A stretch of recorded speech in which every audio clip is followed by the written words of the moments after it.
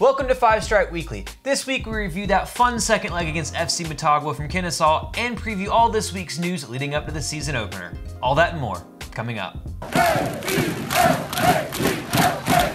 Welcome to the show, Five Stripe fam. I'm AJ and this is Tanner McLeod. Before we get into it, become a member of the notification squad by hitting the bell next to the subscribe button or hop over from Facebook and subscribe. Sore from a weekend of soccer? There's a relaxing and affordable massage with your name on it.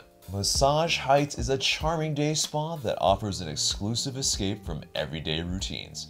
Refresh your mind, body, and spirit with a personalized spa treatment from Massage Heights. With six locations around Atlanta, look no further, book today to avoid the rush. It was quite a Tuesday night for the Five Stripes. We move on 4-1 aggregate and 3-0 on the night with a 3-0 win, of course. And uh, yeah, FC Motagua, yeah, I mean, didn't really put up too much of a fight, it really seems like. It's uh, At the end of the day, we pretty much controlled a good large chunk of it. But we still don't score our goal until the 40th minute. But before that, let's get into that lineup and how it looked. Uh, it was definitely a 3-4-3. We had Mulraney and uh, Lennon as the wingbacks and Walkes. Uh, Meza and Escobar kind of feature first time officially in a game as a three-man back line. And yeah, all in all, they weren't tested too, too much. And uh, actually, I think did really quite well. Uh, and then that midfield as well, uh, you have Remedi and you have Hyndman. And both of them, yeah, kind of had a field day. Just uh, yeah, I mean, I, I think it was one of the things we touched on in the fan cam. I think that for me personally, when I first saw the lineup come out, being a bit more hesitant, thinking Motagua would put up a bit more of a match than what they did. I thought that the 3-4-3, although it looked good on the night, I think it wasn't necessarily challenged. That back line is quality. I think those three guys looked good together. Escobar in a more familiar position at right center back. I thought Meza looked really good in the middle. Um, you could see his leadership. He was one of the guys that, you know, kind of moved everybody around at the back and was tidy on the ball. Walkes did well again, you know, as a, as a center back in a different position as from yeah. last week as a left-sided center back in a back three. And I think Lennon and Mulraney is pretty attacking as far as wing backs go. For me, you know what you're going to get from the front three. The big question mark about this formation going forward is those two guys in the middle. Mm. Because, like you said, Hyndman and Remedi were not really tested throughout this game. They were not put under a lot of pressure. Remedi, he was, I guess, the more defensive of the two, didn't have to worry about anyone getting in behind him. And like I said, that comes down to the quality of FC Motagua. Right, and uh, yeah, how they set up, it looked like a 4-3-3. Uh, you know, one of their uh, kind of more kind of storied guys, their leading scorer of all time, Rubilio Castillo, wasn't even really part of the starting lineup. Uh, so yeah, it seemed like they were maybe missing some of their key components to really be as lethal as Which is interesting be. because they rotated their entire squad in the league this past weekend in preparation for this match. Exactly, and so yeah, really for large parts they look kind of bereft of ideas. They uh, didn't really press us too hard. We had really a really large chunk of the possession. And uh, yeah i mean once we were up we were just pinging it around so that yeah they couldn't get they couldn't get it. And we looked really quite dominant. It seemed like Motagua were cut between two minds as in they knew they needed to defend and also they knew they had to be aggressive. And their press wasn't that great and despite playing with the three-man midfield they never seemed to have Atlanta United overrun in that area of the pitch it always seemed as if Hyndman and Remedi had space and time on the ball to pick a pass and spray it to the side get it to the danger guys and that was that was where the danger came from. And you know, as soon as Atlanta United scored, it was only going to go one way. You know, Motagua opened up even more, and Atlanta United kept getting more and more chances. And United probably could consider themselves unlucky not to have scored earlier into the match. There were some really, really good chances that came along, but when you finally do get that opener, it's from a guy who so far had two very good matches this season. Yeah, I mean, you know, you have uh, Pity Martinez, who now has two goals and two assists uh, in two games. But I mean, this goal is quite quite good. Um, yeah, this I mean, is something we want to see more of. Yeah, exactly. I mean, you know, it's incisive through the middle. I mean, it's uh, it's somewhere where you know, you know, he gets it on his favorite left foot. Uh, he puts it in the bottom right corner. I mean, it's uh, just a tidy finish, and it's something that you know he gets more into the box. I think than he has in the past, and that's really where he can be very lethal. Because yeah, I mean, he had missed a couple shots where one from was, a very similar play with a one-two with Josef that just right, went wide. Right, and so you know, but it's one of those things where he gets that second chance and that second bite at the apple, and yeah, he puts it away a plum uh, and starts off. I think yeah, the barrel of just uh, kind of bad bad uh, bad news for Motagua because yeah, it really was the beginning of the end after that because it was too maybe big of a mountain to climb for Motagua. Uh, definitely after that, but um, yeah, and so one 0 at halftime. Uh, we're, we're I think fans are sitting pretty, feeling pretty good. Uh, you know, I felt more confident that United were going to get the next goal than, than Motagua, and Yeah. you felt that Motagua were going to have to open up more in the second half. And with the chances United had already been creating, it was only you know going to be a matter of time before they got caught, and they had to keep getting their line and creeping that line higher up and higher up. And then the second goal again comes from some fantastic play between Josef Martinez and PT Yeah. Martinez. And But even before that, Brooks Lennon wins a header. He does. And, uh, yeah, and so it uh, lays into the feet of PT Martinez. PT Martinez. Uh, yeah, I mean, it, some, some kind of uh, crazy stuff happens here. And then, I mean, Josef Martinez from an impossible angle, really. I didn't know how he was going to finish it. When I, when I saw him get the ball going wide, you knew he was going to shoot, but you think he's probably going to hit the side netting here because the angle was so tight. The area that he had to hit was so difficult to do, and he made it look like it was absolutely nothing. Yeah, I mean, I wouldn't doubt him from acute angles. It's just what he does, I feel like, because, yeah, even like uh, against Chicago Fire all the way back when, he scored pretty much from the byline. I mean, that was, uh, yeah, I think just vintage Josef Martinez. So clinical. You really give him one chance, and he really puts it puts it away. But um, yeah, and it, it's another, yeah, it's a uh, Josef to PT, PT to Josef. I mean, it was, uh, yeah, for the third goal. I Josef mean, get credit for the assist for the third goal because he got absolutely taken clattered. out. But uh, yeah, he got a, he got the assist apparently, and so uh, I mean, when you get clattered that hard, I mean, you might as well give him the I mean, assist. It was here's the last crazy touch. thing: is that So- watching a lot of that match back, I thought that the officiating was outrageously terrible. But that third goal no comes calls. from the referee not blowing the whistle. Yeah, Because most referees are going to blow the whistle right there. They're not going to play on advantage and go, the goalkeeper's out, the ball's at one of your best players' feet, he's going to dribble in and have a shot. Most most officials, I think, would probably stop the play there and give Yeah. Atlanta United the free kick because I think it was right outside of the area. So, I mean, that would have seen the keeper sent off most likely, but still, you get that and PT scores a goal with his right foot. Yeah, which is, I mean, the the calm, cool, and collectiveness that he puts us away with is, I mean, that's just exactly what you want to see from PT Martinez, and especially, I think uh, that building of the confidence that this type of goal really does give him, uh, because yeah, he sits so many people down and then puts it away with his right foot, which no number ten apparently has done uh, for LA United in uh, 30 or 30 30 plus goals. Yeah, I mean, you've had two left footers in, in Yeah. Miggy and PT, but now, hey, I mean, he's been hitting them with his right so far this season as well. Like, there have been some good strikes he's hit with his right foot. He had one in the first leg, and, mm-hmm. you know, he's putting himself in dangerous positions. He seems more confident.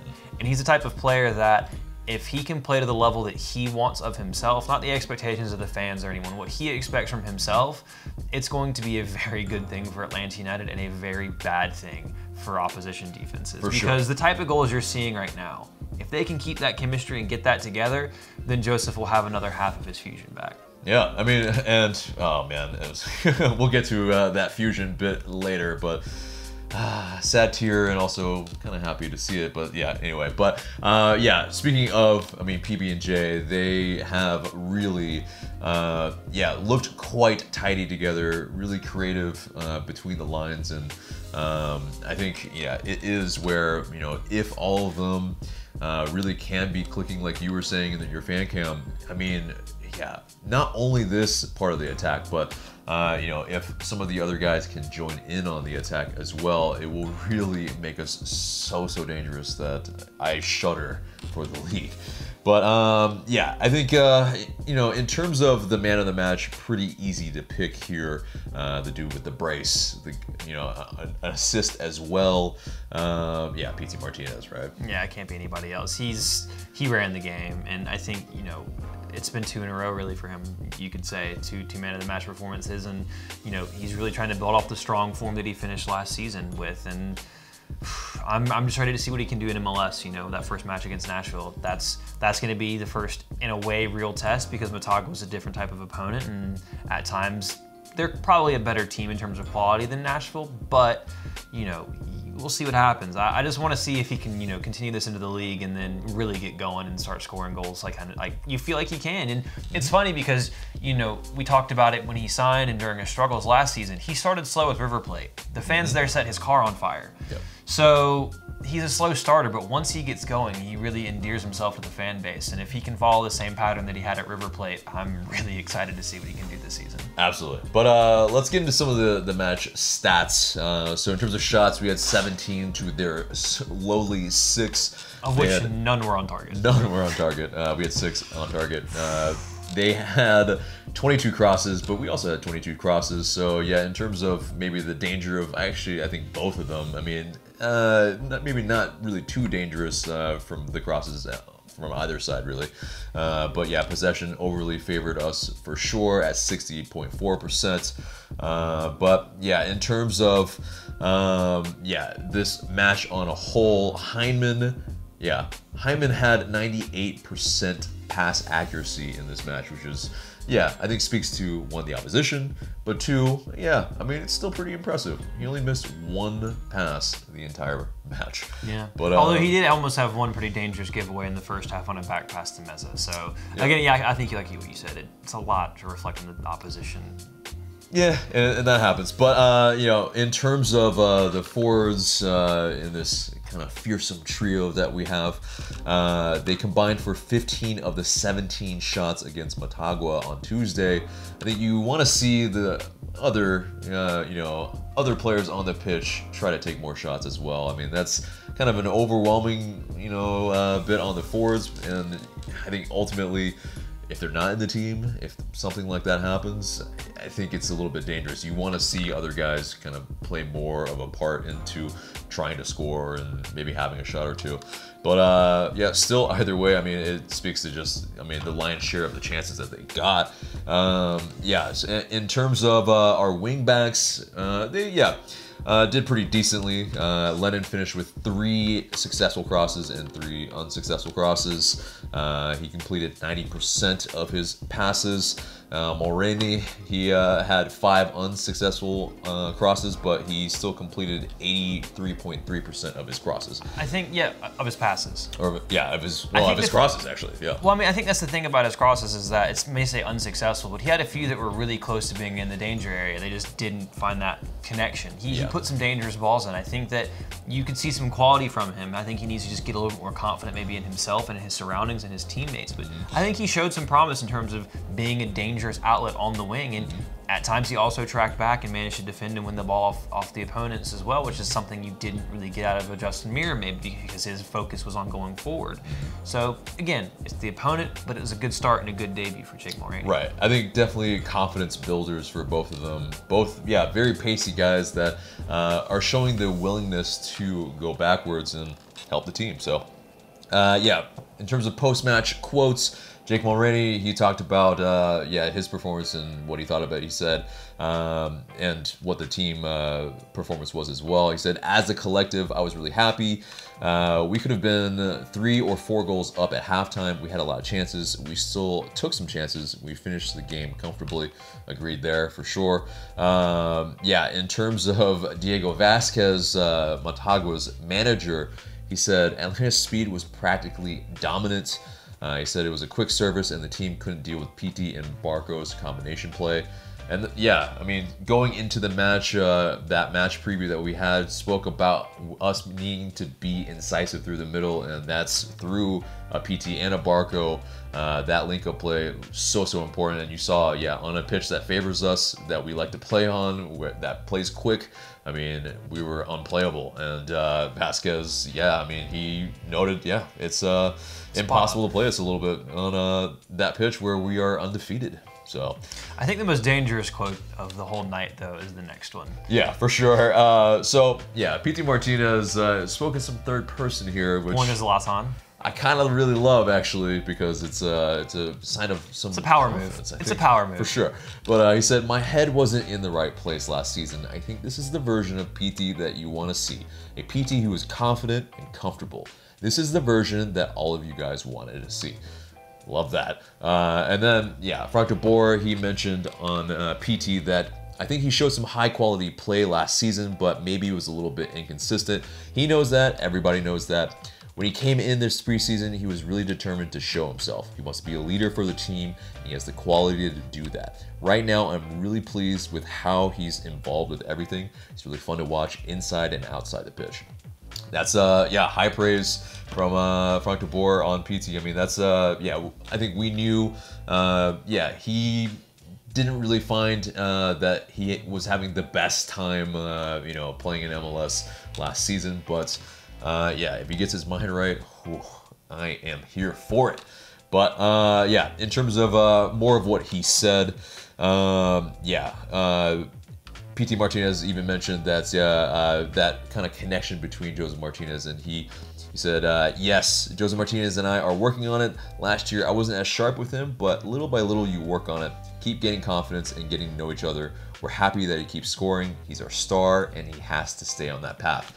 And that's lovely because, yeah, I mean, they definitely saw a little bit of a connection in this match for sure. Pretty much assisting each other's goals, however you want to say Josef uh, assisted his second goal or not, but uh, I think he deserves it. Again.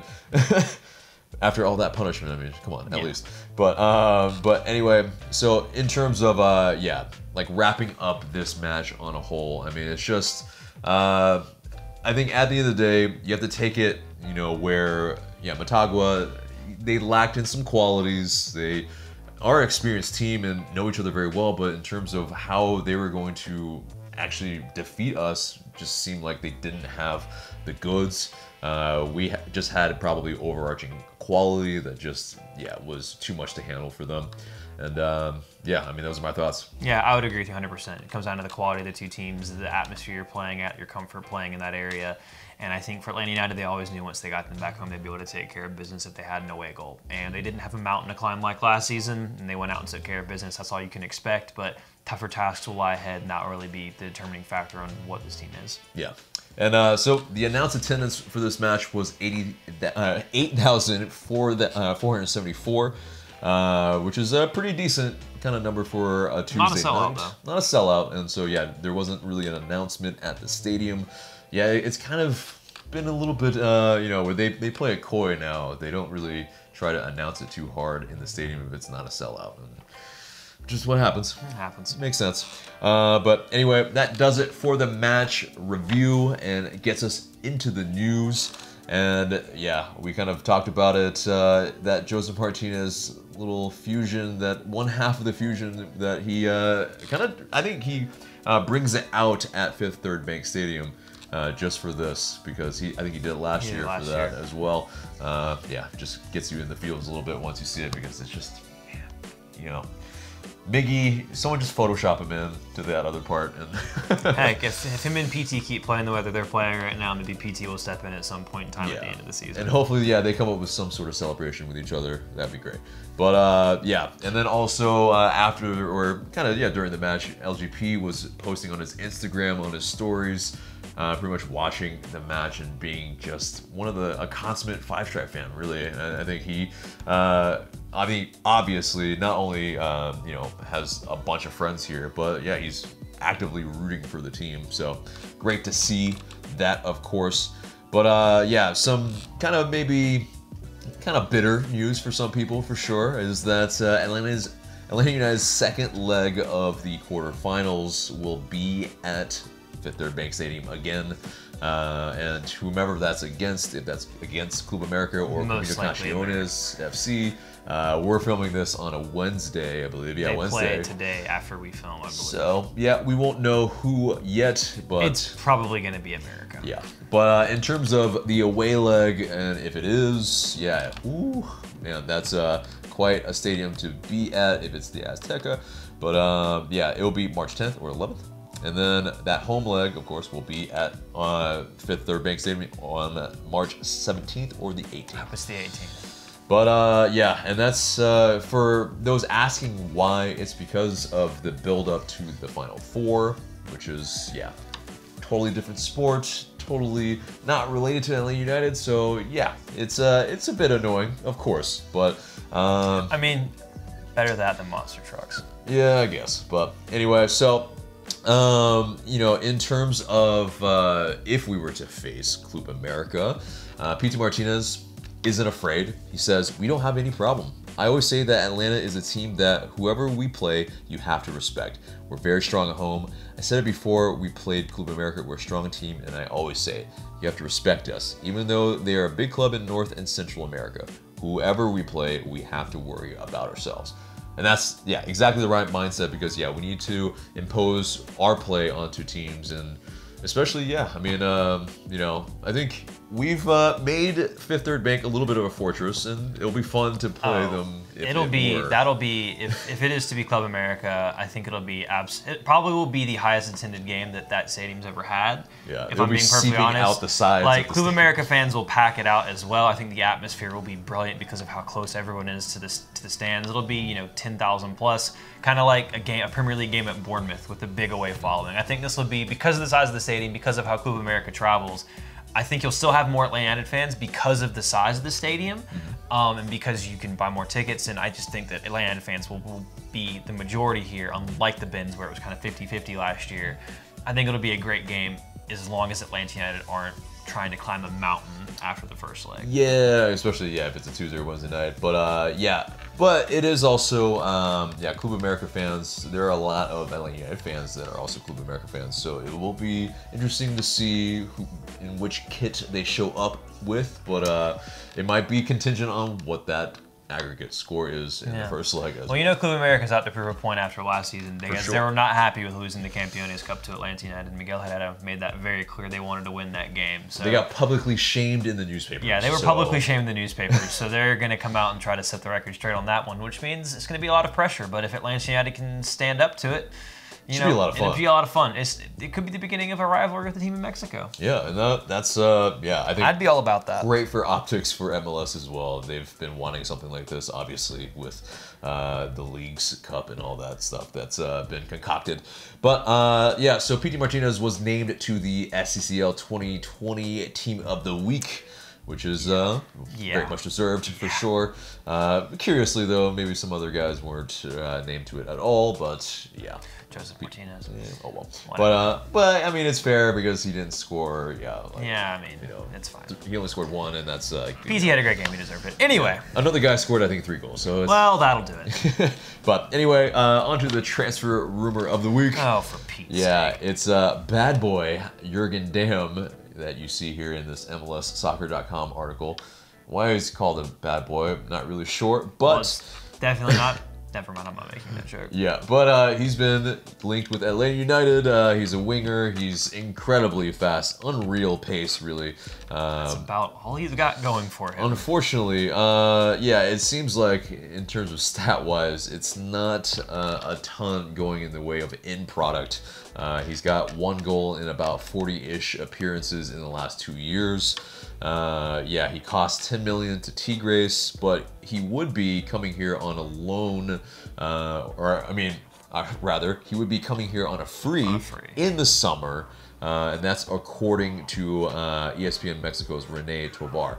And so that says a lot. If a team like Tigre says we don't want you and we paid 10 million for you, and they're not even expecting to get anything in return, that should say something about the quality of the player, in my opinion. And yeah. honestly, I think Atlanta United, once they get the Castro visa thing sorted out, and you have Moreni, I think we're fine on wingers. I'd rather them sign a central midfielder or left back. Well, maybe not a left back, a central midfielder or a backup center back, like for depth. Preferably a central midfielder. Like wing is not the priority at this point anymore yeah. for me. So. But it also uh, maybe works out at the same type of time where Manuel Castro's loan ends. I think that's what was in my head earlier uh, that made me say it. Uh, so in terms of that, uh, yeah, maybe if Castro doesn't work out, then Damm could be a guy that could be brought in. I mean, yeah, he does have unreal pace, so it really uh, could play maybe as a wingback if he's willing to track back enough. That's if he has enough in product.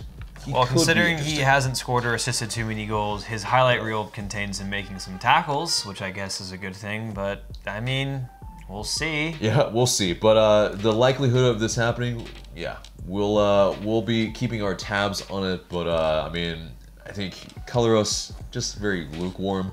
Uh, the pace is the exciting part for sure. But uh, moving on from that, uh, David Beckham has been talking about Atlanta United and uh, in some really good light as well.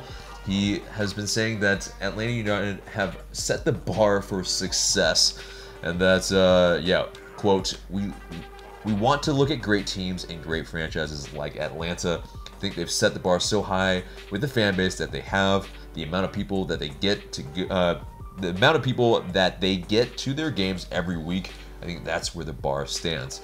He also mentioned LAFC, of course, uh, that have done it quite well as well. But yeah, I mean, first team out of his mouth, and you know he's trying to emulate that.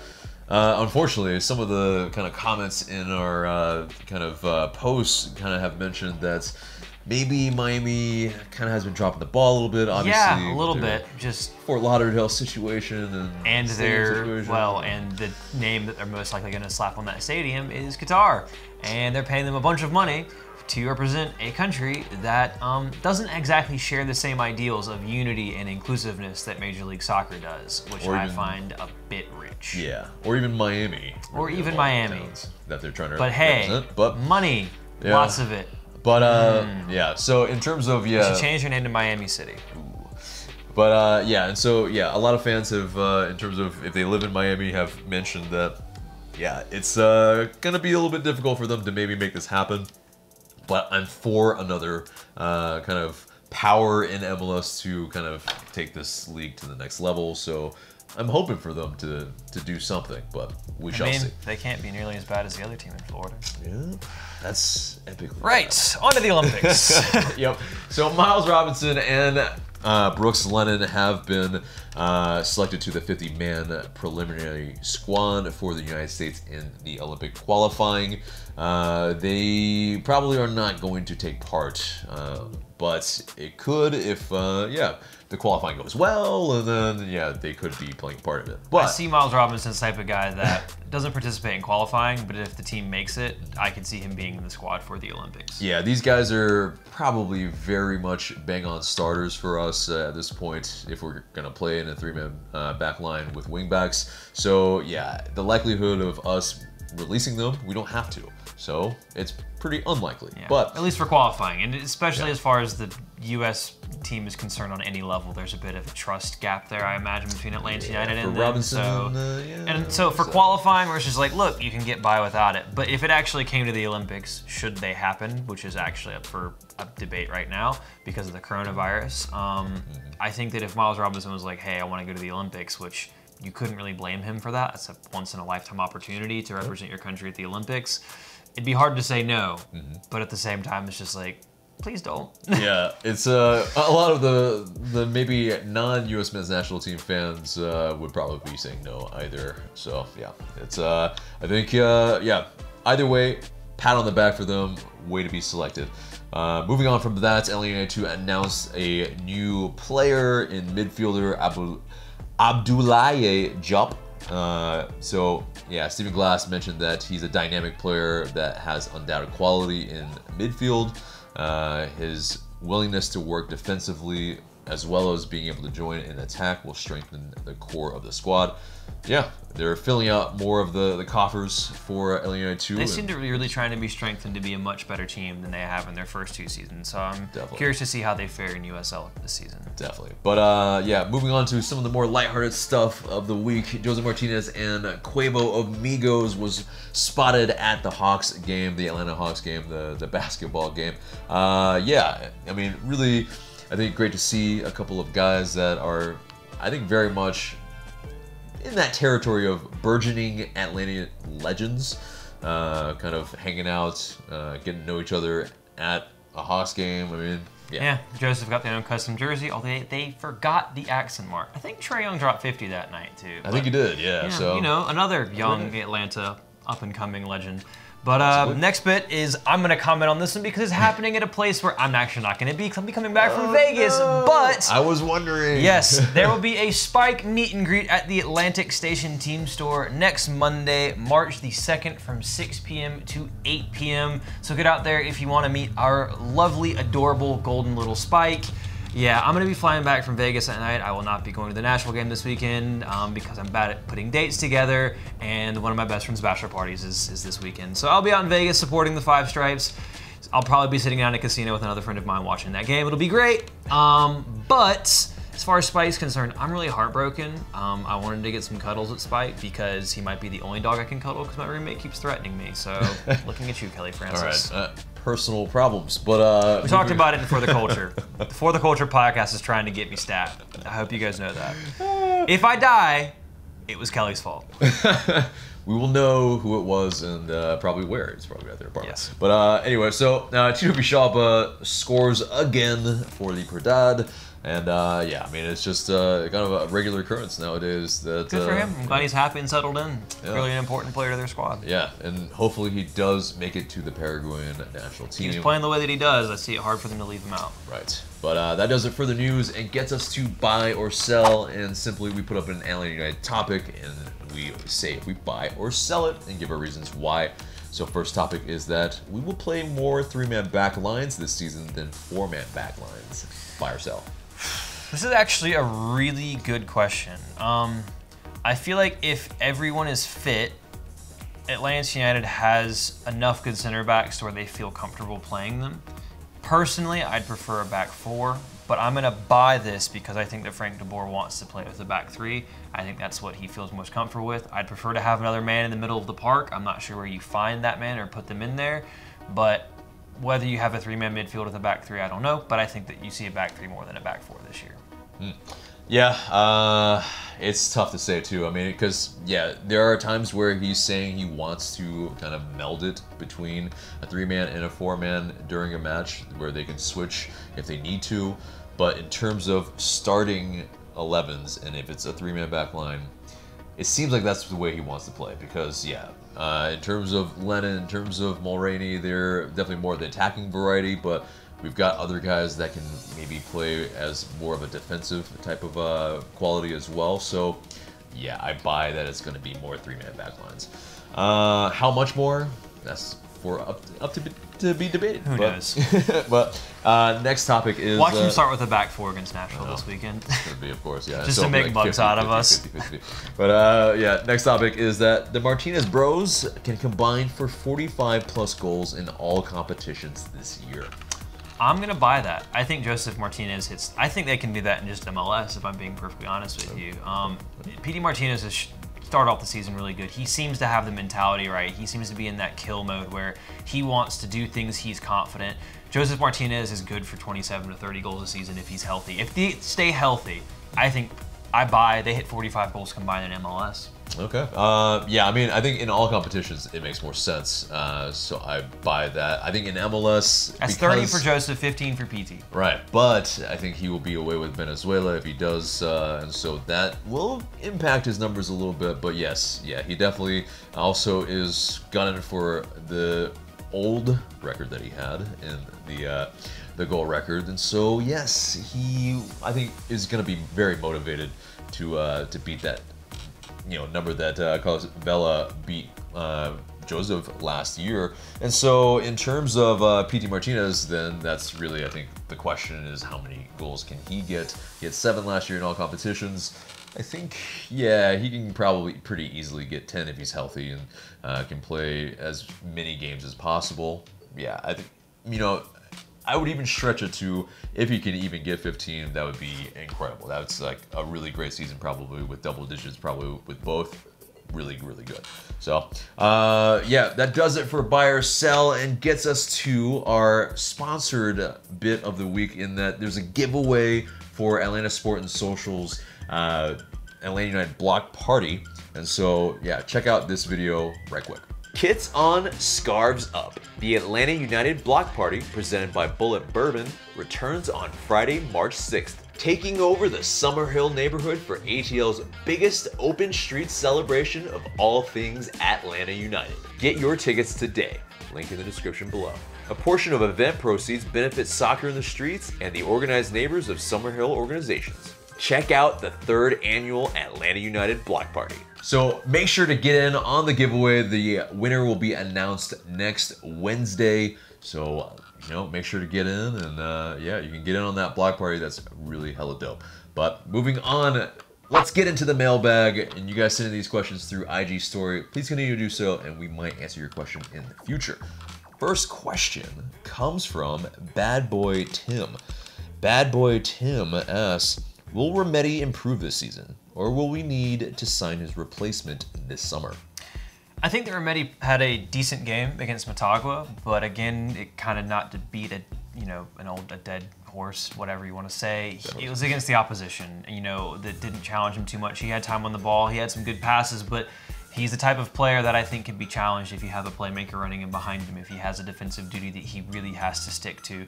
He didn't have to worry about that against Motagua. Um, I will stand by the fact that I think Remedi is better suited for a midfield three with a specific task, especially if it involves marking an opposing playmaker out of the game. He's done that multiple times for Atlanta United. Um, if he can improve, if he can improve his positional discipline and his reading of the game, that would be a massive boost for both himself and for Atlanta United. Um, but still, me personally, I think Atlanta United needs another midfielder, someone who can either start ahead of Jeff Larentowicz, preferably, but has that quality like a TAM level holding midfielder. That's what I think Atlanta United needs, and I, unless Remedi improves drastically, I still think that's where United need to strengthen. Yeah, I think he's more of that kind of uh, modern midfielder that's uh, is more of like the pressing variety. Where, yeah, he definitely needs to be able to improve that reading of the game, that positional discipline, like you were saying. Uh, and he lacks a little bit in in product, really, if he's a box to box. So, you know, he can't really be like out and out, uh, you know, in a two be really relied on uh, game in game out for that type of uh, quality that you know we would expect from that type of position. And so uh, yeah, I think there there would need to be somebody that uh, is brought in because yeah, Remedi. He's a bulldog. He's great. Uh, you know, his work rate's incredible. Down. Like exactly. he has a lot of really solid qualities. The issue about Remedi is that if Frank de Boer does opt to play in a midfield two, that's more responsibility, and each midfielder has to have a lot of tools in their belt in terms of what they can and can't do to be able to play a midfield too. And I think that he just misses some of those tools that you need. Again, good in three, not so great in two. Right. Uh, and also, I mean, work rate and uh, engine is oh, is incredible. Yeah, it's incredible, absolutely. But uh, next question comes from Jose Omar Medina. I apologize. I've been saying Jose Omar Medina for a couple weeks now. I feel like, uh, but his question is, who is Mario and Luigi between the Martinez Bros? I think this is pretty straightforward. This is pretty straightforward. I mean, Pity Martinez has mentioned that uh, Josef Martinez is the star. It would make Josef Mario, Pity Luigi. But uh, yeah, I mean, I think the other question is, who are some of the other characters on the team that are uh, Mario related, right? oh man, um, do we have who's Yoshi? Who's Yoshi? um, Yoshi would probably be. Oh man, Remedi. well, Remedi, I was thinking Wario a little bit. Oh, oh, interesting. Yeah, he could be a little bit nasty sometimes in the tackle. Sure, you know, I can think he could be. There's no Waluigi. Yeah. That would have been LGP. Yeah. LGP would have been Waluigi. Yeah, yeah, yeah. Because he's got a bit of an evil side to him, right. like the shithousery part. Right. Um, I think this this kind of gets into levels is, that I don't really is know. Barco so. Toad? Is Barco Toad? Barco Toad. Uh, oh, dang. That, that's a pretty good shout, actually. Yeah. yeah. I mean, and then uh, what? King Koopa. I think this is this is the limit of uh... King Koopa. Brad Guzan. Oh, interesting. Why? Because because King Koopa the one that throws shit. Uh, uh, Raguzan throwing stuff yeah. uses his hands a whole lot more Love than it. anybody else. We'll go with All it. right, let's not get too far down this rabbit hole. Yeah, that's a that's a weird sidebar. That get down uh, and below whoever you think Atlanta United players are in terms of the Mario world. All right, next question comes from Dawson Williamson. Who is going to score for the second, or who is going to score the second most goals on the team, assuming Josef is first? I'm gonna go with Pity Martinez. I'm, I'm gonna I'm gonna I'm gonna stamp my colors to the mat or nail my colors to the mast. I think Pity Martinez goes for 15 goals this season. I think he's going to go double double. I'm I'm going to be bullish on it. I think he's going to really impress some people. And by the end of the season, Atlanta United fans are going to be going, "Why did we not like this guy before?" Because he's going to be that dude. I just I feel I'm, I feel confident in him. Yeah, I, I think Pity is the best shout, but I think Ezequiel Barco also is a man on the mission as well. Like he wants to get to Europe as well. So yeah, I think he uh, can have a big season. Um, I think he can edge out Pity, but you know, I think at the end of the day, I think Pity is getting more forward, and I think you saw like he was very clinical. So if you had to take a pick out of someone who's not, Mm-hmm. say maybe a DP player, because those are kind of the obvious choices when you think about the money you pay for them, they're your forward players. If you had to Ugh. take a pick out of the guy's not a DP that was going to have the decent goal return this year, who do you Yeah, think? it's a great, great question. Um, I think yeah, Rossetto definitely, if he's able to get in the team at some point, uh, yeah, definitely has a good shout because yeah, he definitely looks like a guy that has an eye for goal. Uh, I think maybe a dark horse is a Jake Mulraney. Uh, I was watching him, uh, you know, practice uh, taking some shots at uh, with a goalie and net, and yeah, he was putting them away with finesse, left foot, right foot. Yeah, I mean, I think he he has an outside shot if he gets in front of goal enough, but Uh, I, I just the question is is is he going to get in front of goal enough? So if he you? can get goals, I think that's that's a, that's a really interesting shot. I mean, my, my gut feeling would probably be Rossetto if he can can play because you saw the type of skill that he has. Yes, it was against Birmingham Legion, but still, he has an eye for goal. He has some talent, and he wants to push forward. And I think that he could definitely be a good shout. But with Mulraney, it's one of those things that you know, if you can get some more goals from those wingback positions, you know, if he can cut in onto onto his foot and get a shot off and feel confident enough to do that, that just adds another bit of danger to Atlanta United and the way that they play. And you know, it's really difficult for for outside defenders. Do you stick with the wingback? Do you go with Pity? Do you go with Barco? Whatever happens, that could be a big thing for Atlanta United because Meram gave you some goals last season, but to be able to get production off both wings from both wing backs would be really, really quality this year. Yeah, agreed. Next question comes from Negrito X Negrito. Would you take a CCL trophy if it meant us not getting another title for five years? No. I've been waiting. Why are you doing this to us, no, man? just no, no. I like, uh, the, I love the optimism in terms of winning the CCL, but I'm not waiting five. I'd rather have multiple MLS Cups and U.S. Open Cups in that time frame. Yeah, I think it's quantity over which one we. And the quality of the CCLs, point. I still think is up for debate. Yeah, and so I mean, I would take yeah, I would take three trophies versus one CCL. I would do it. Yeah, I mean, it's just. Uh, it's it's too tough. MLS Cups also. is what matters most, I think, here. So yeah. I'd take two MLS Cups in a heartbeat. Yeah. Last question comes from Timolim1776. Are Rossetto and Castro better than what we put on the field in Leg 2? If so, who's left out? I think Rossetto definitely. I think Rossetto is a guy that would either, right now, maybe over Hyndman in terms of someone who's trying to get forward a little bit more, if you're trying to have a bit more of attacking input mm-hmm. from your midfield. Um, Hyndman did complete 98% of whatever it was of his passes, but he hasn't exactly looked fantastic in terms of maybe his killer balls or what you'd like to see. He maybe he doesn't have the brief to get forward as much as he did last year. He's still learning and he's still, Yeah, he's still learning a new position as well. But it depends on how aggressive Frank De Boer wants to be. Um, but I could definitely see Rossetto starting for Atlanta United. As far as Castro goes, he seems more of like a guy that would come off the bench or be rotated into maybe a U.S. Open Cup game or something like that. Mm. Well, this is a difficult part about it is we haven't seen Manuel Castro play in person yet, and uh, so it's difficult to really, I mean, really prognosticate what type of uh, impact he can have on the team. Uh, is Castro better than some of the guys that we have currently in that setup on Tuesday? Uh, I mean, this is the thing. If is he going to play in a three-man backline as a wingback, or is he going to play as uh, you know one of the guys in the, the fourth line? He's de- definitely probably not better than Pity Martinez or Ezequiel Barco, nor Jose Martinez. So uh, it's going to be difficult to see him play a part in probably a three-man back line. Rossetto, yeah, I think he could probably, uh, if yeah, if it's a you know throw everything uh, against the wall type of uh, you know setup, then yeah, Rossetto and a Hyndman in a midfield two. I mean, that's going for it. For that's sure. going to leave you a bit open in the middle, for yeah. sure. But uh, I feel like, yeah, against Motagua, that probably would have played pretty well. Or against actually. a lower opposition team at home at the Benz, you know, in MLS. Mm-hmm. Yeah, I think you get away with that. Right. But uh, that pretty much does it for the mailbag. And almost the entire show except for the question of the day. And guys, the question of the day is definitely still CONCACAF Champions League themed, and it is what do you think about Atlanta United having to play the second leg of their CONCACAF Champions League quarterfinal at Fifth Third Bank Stadium in Kennesaw? Get down in the comments below and let us know what you guys have to say.